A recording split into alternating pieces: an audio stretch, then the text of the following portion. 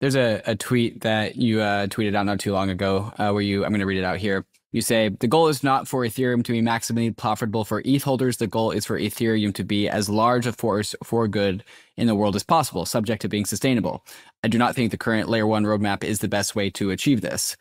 So, what do you want to see out of the Ethereum layer one? Uh, what is it coming short on, and how would you kind of change its directions in order to achieve this goal that you have? Yeah, so there's three things. Some of them are uh, symbiotic, and some of them have a little bit of tension. One of them, we immediately need to start decreasing the block time. It's actually ridiculous in the year 2024 to have a blockchain with 12 second block times. It's just basically so far from parity with anybody else that we're, of course, going to get outcompeted if we stay at 12 seconds. The second thing is we need to provide much better real time censorship resistance. That means not, oh, you can get in if you wait 30 minutes and wait for a solo stake or two who's not running MEV-Boost to include you. That means you can get in to the next block if you pay a high enough fee, and hopefully the the high enough fee is is not super large that it becomes impossible to to do basic decentralized financial activity. So those are the first two, and then the last thing is we need to increase throughput so that if you do build build a killer app, we have enough throughput there that can support you. So we need to be able to basically support 100x or even thousand X in usage so that when people have ideas for amazing apps, they want to build them on Ethereum and nowhere else.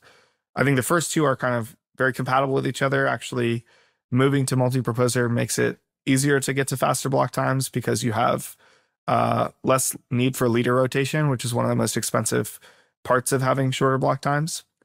Uh, the third one, which is increasing throughput, is a little bit in tension with faster block times, but I think we can, we're so far from the Pareto frontier of what is possible with the technology that if we actually just tried, we could get extremely far. I think that the issue is I hate this type of attitude in Ethereum research, which is like, oh, you want to scale the L1, but we don't have the tools today to be able to make it process as many transactions as Visa. Well, let's make the tools. Like it's such a defeatist attitude of, oh, you want to do this thing, but right now the technology isn't there. Well, yeah, I understand that. That's why I want to work on the technology to get us there. And uh, it's like I, I, posted this New York Times uh, article about uh, flight, which was posted like six weeks before the the Wright brothers took their first flight, and they said the technology for human flight is is not there. Uh, maybe in 10 million years we could get to to human flight but right now everybody who's working on this is just wasting their time. And i kind of feel like that attitude that's pervasive in the ethereum ecosystem of like why are you trying to work on this problem? It's too hard. It's uh it's very defeatist. I'm maybe too optimistic for them to say hey we have a bunch of smart people here. Maybe we could actually make this happen if we tried to work on it instead of giving up before we even start so with these changes that you're interested in in bringing to the Ethereum layer one, this would uh, be a boon to base rollups.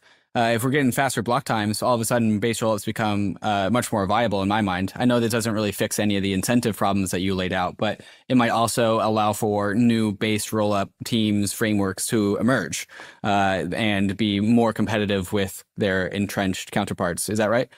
Yeah, exactly. And and where do you want to be as a user on the chain that maximally extracts value from you or the chain that gives you uh that maximizes your welfare?